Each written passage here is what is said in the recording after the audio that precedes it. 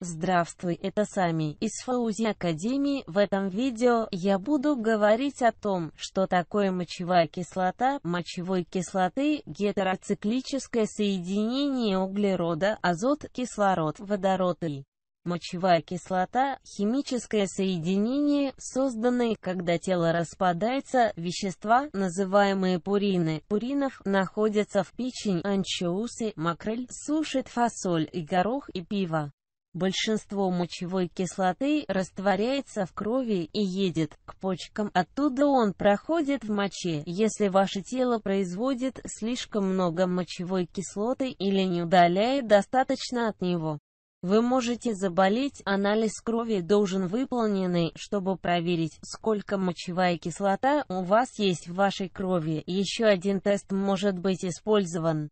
Чтобы проверить уровень мочевой кислоты в вашей моче, опорный диапазон мочевой кислоты обычно составляет 3,4-7,2 мг, ДЭО для мужчины 2,4 до 6,1 мг, ДЭО для женщин, концентрации мочевой кислоты Выше и ниже нормальный диапазон известны, соответственно, как гиперурикемия и хайпорерисемия. Причина высокой мочевой кислоты – люди могут иметь повышенные мочевой уровни кислоты.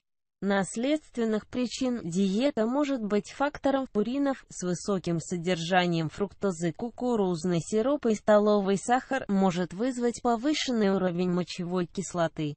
Сыворотка мочевой кислоты может быть повышен за счет снижения выведения почками голодания или быстрая потеря веса может временно поднимать уровни мочевой кислоты, а также некоторые препараты такие как диуретики, насыщенность уровень мочевой кислоты в крови может привести к одной из форм камней в почках и может привести к подагре. Это болезненное состояние является результатом игольчатые кристаллы мочевой кислоты в осаждении, суставы, капилляры, кожи и других тканей. Надеюсь, эта информация полезна. Спасибо за внимание. Фаузи Академии, пожалуйста.